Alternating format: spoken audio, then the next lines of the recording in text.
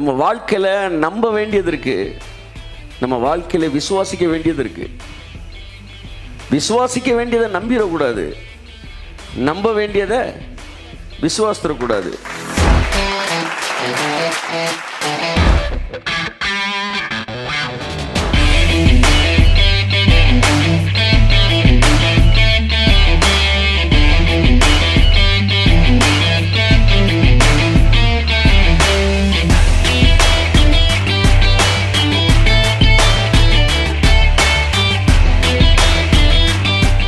அன்புக்குரியவர்களே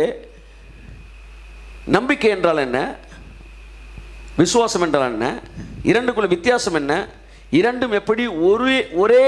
ஒரு ஒருங்கே செயல்பட முடியும் ஒருங்கே செயல்பட முடியும் என்பதை குறித்து பார்க்க போகிறோம் முதலாவது நம்பிக்கை என்பது எதிர்காலத்தோடு தொடர்புடையது ஆமின்னு சொல்லுவோம் வாசிப்போம் ரோமர் எட்டு இருபத்தி ஐந்து சில வசனங்களை நான் உங்களுக்கு வாசித்து காண்பிக்க போகிறேன் எங்கெல்லாம் நம்பிக்கை வருதோ அதெல்லாம் எதிர்காலம் வரும் பாருங்க வாசிப்போம் நாம் காணாததை நம்பினோமாகில் நாம் நம்பினோமாகில் நம்பிக்கை பத்தி சொல்றாரு நாம் காணாததை நம்பினோமாகில் அது வருகிறதற்கு பொறுமையோட காத்திருப்போம் அது வருகிறதற்கு அப்படின்னா என்ன அர்த்தம் என்ன டென்ஸ் அது சொல்லுங்க பாஸ்ட் டென்ஸா ஃபியூச்சர் டென்ஸா ஆமாம் எட்டாம் நம்பர் வரும் பஸ்ஸு அப்படின்னு நீங்கள் நம்பிக்கையோடு இருந்தால் என்ன ஜானு அலங்காநல்லூர் பஸ் வரும்னா நம்பிக்கையோடு காத்திருக்கிறீங்க ஏன்னா பஸ்ஸு இன்னும் வரல நம்பிக்கை எப்பொழுதும் காத்திருக்கிறது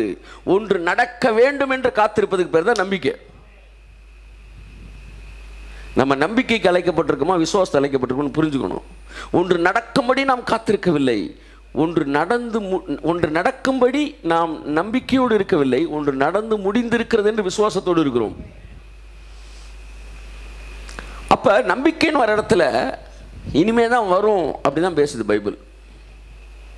ரெண்டு குழந்தையர் ஒன்று எட்டு வாசிங்க ரெண்டு குழந்தையர் ஒன்று எட்டு ஆகையால் சகோதரரே ஆசியாவில் எங்களுக்கு நேரிட்ட உபத்திரவத்தை நீங்கள் அறியாதிருக்க எங்களுக்கு மனதில்லை மனதில்லை என்னவெனில் பிழைப்போம் என்கிற நம்பிக்கை பிழைப்போம் இன் ஃபியூச்சர் பிழைப்போம் என்கிற நம்பிக்கை அற்றுப்போகத்தக்கதாக அற்றுப்போகத்தக்கதாக எங்கள் பலத்திற்கு மிஞ்சின அதிக பாரமான வருத்தம் எங்களுக்கு உண்டாயிற்று பிழைப்போம் கடந்த காலமா எதிர்காலமா எதிர்காலம் பிழைப்போம் என்கிற நம்பிக்கை மறுபடியும் நம்பிக்கை எதிர்காலத்தோடு தொடர்புடையதாய் வருகிறது நீங்கள் விசுவாசத்துக்கு போனீங்கன்னா எல்லாமே பாஸ்ட் வரும் நம்பிக்கைக்கு போனால் எல்லாம் எதிர்காலம் தான் வரும் ரெண்டு வசனம் சொல்லியிருக்கேன் ஆதாரமாக மூணாவது வசனம் ஒன்று தெசனோனிக்க ரெண்டு பத்தொன்பது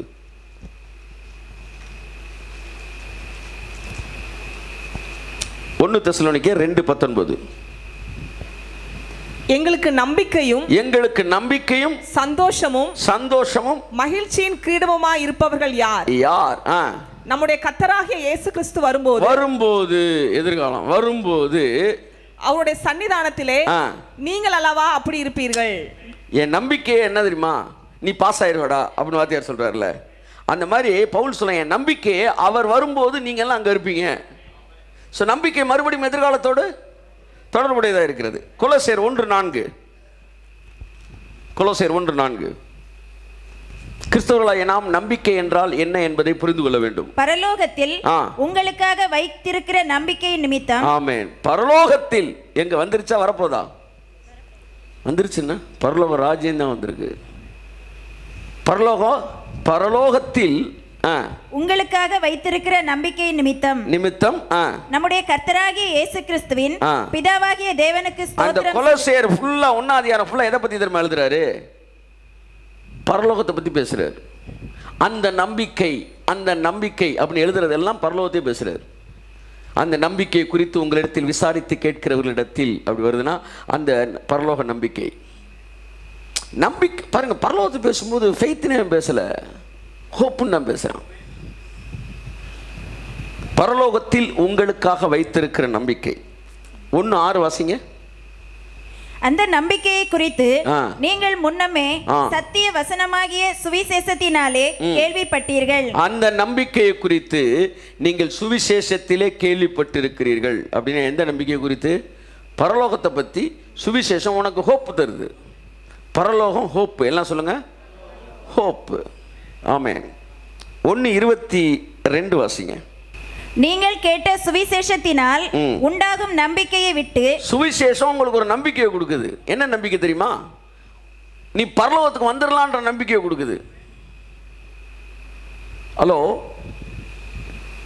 நம்ம வாழ்க்கையில் நம்ப வேண்டியது இருக்குது நம்ம வாழ்க்கையில் விசுவாசிக்க வேண்டியது இருக்குது விசுவாசிக்க வேண்டியதை நம்பிடக்கூடாது நம்ப வேண்டியதை விசுவாசிடக்கூடாது